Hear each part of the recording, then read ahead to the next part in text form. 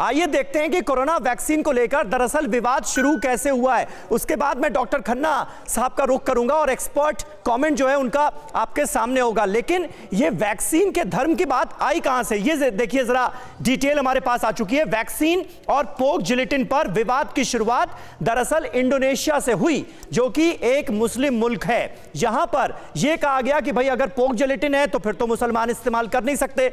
Indonesia में कहा गया कि वैक्सीन में पोर्क जिलेटिन का इस्तेमाल हुआ है, इसलिए इसका इस्तेमाल ठीक नहीं है। हालाँकि इस्लामिक धर्मगुरुओं में मतभेद है इसे लेकर कि टीका जायज़ है या नहीं। यहाँ पर आप देखिए, मुस्लिम तमाम धर्मगुरु ऐसे हैं। मैं all India Shia personal law board का ज़िक्र करना चाहूँगा। उन्होंने कहा कि नहीं, बिल्कुल जायज़ है। यह सवाल ही नहीं उठना चाहिए। सवाल जो लोग उठा रहे हैं, वही गलत कर रहे हैं। हालाँकि इस्लामिक धर्मगुरुओं में इसे लेकर मतभेद है। मुसलमानों, ऑर्थोडॉक्स, यहूदियों समेत कई धार्मिक समुदायों में टीके को लेकर असमंजस पैदा हो गया है और यह असमंजस पैदा किया जा रहा है कुछ धर्मगुरुओं की तरफ़ से, जो लगातार वैक्सीन को लेकर गैर जिम्मेदाराना बयानबाजी कर रहे हैं। अब आप देखिए कि जो यूएई की मेन फतवा काउंसिल है, उसने जायज़ ठहराया इसे।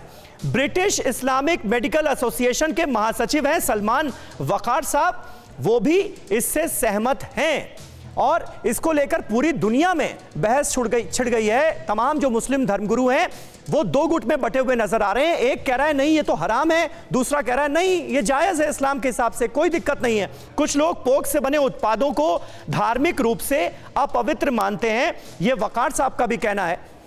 और अब इसी को लेकर एक नई बहस छुड़ी, छिड़ गई है और वैक्सीन का धर्म जो है, वो भी अब सामने आ गया है। कहीं ना कहीं इस विवाद के ज़रिए। डॉक्टर एन एन खन्ना हमारे साथ मौजूद हैं।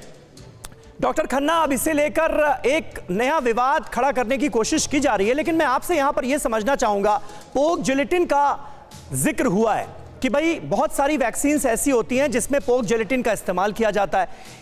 ये इस्तेमाल किस वजह से किया जाता है और इसका इस्तेमाल कितना ज़रूरी है, ये जरा हमारे दर्शकों को समझा पाए अगर आप तो। देखिए, दो चीज़ें हैं। ये जो वैक्सीन है या जो पोर जो पोर, पोरसाइन जो टिश्यू है, उसका यूज़ ना, वैक्सीन में तो होता ही है, बहुत सारी दवाओं में भी होता है। तो पहले तो ये गलतफहमी हटा दें कि जो नॉर्मल कैप्सूल खाते हैं या और इलाज होते हैं, बहुतों में जेलेटिन होती है और या तो वो ह्यूमन सोर्स की होती है या पोरसाइन सोर्स की होती है या बोवाइन सोर्स की होती है। तो दवा को दवा समझना चाहिए और दवा को ये समझना चाहिए कि एक जान बचाने के लिए चीज़ करी जा रही है। उसकी एक केमिकल प्रोसेस होती है जिससे कि वैक्सीन बनती है जिसको कि ऑल्टर नहीं किया जा सकता है और कुछ वैक्सीन में ये है। हम्म। तो ये कोई बहुत बड़ी चीज़ नहीं है। आपको मैं बताऊँ जैसे हार्ट के वाल्व्स होते हैं बहुत में पोरसाइन टिश्यू होता है बहुत में बोवाइन टिश्यू होता है। अगर उसको हिंदू और मुस्लिम मना कर दें कि हम वैल नहीं लगवाएँगे तो लोगों की जान चले जाएँगी। हम्म। तो इसको इसमें पॉलिटिक्स का कहीं कोई मतलब ही नहीं है। जो ऐसे सोचते हैं वो बिल्कुल ही नॉन साइंटिफिक नॉन इंसानी तरीके से सोच रहे हैं। ये केवल जान बचाने के लिए एक एक दवा बनाई जाती है। कुछ वैक्सीन में इसका ऐसा नहीं है कि उससे बनती है उसका एक प्रोसेस में वो पार्ट यूज़ होता है। हाँ। और उसको स्टेबलाइज करने के लिए और ये एक बहुत नॉर्मल सी प्रक्रिया है। जितनी वैक्सीन होती हैं ऐसे तो आ, ये बहुत एंटी नेशनल या एक नासमझी का बयान है और नासमझी का भ्रम है।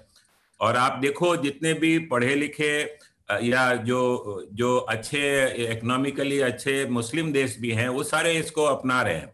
बिल्कुल। इसमें इस स्टेज पे इस तरीके की गलत फहमियाँ जबकि लोगों को पता ही नहीं कि कितनी हमने अभी सुना कि एक कोई साहब कह रहे थे कि इसमें हिंदू ज़्यादा मर रहे हैं और मुसलमान कम मर रहे हैं। कितनी गलत बात है क्योंकि बीमारी हिंदू मुसलमान सही बात है वो कोलकाता की शाही मस्जिद जो है उसके इमाम है मौलाना बरकती। अब वो बताइए इतना गैर जिम्मेदाराना बयान दे रहे ये बहुत ही बहुत ही गलत चीज़ है और ये चीज़ों को समझना चाहिए और अगर अगर वो जाके देखें स्टैटिस्टिक्स कि कितने लोग मर रहे हैं और कितने प्रोजेक्टेड हैं। हम्म। अगर ये वैक्सीन नहीं लगी तो लाखों लाखों करोड़ों में मरीज़ मर सकते हैं लोग मर सकते हैं और इसका ये इलाज है।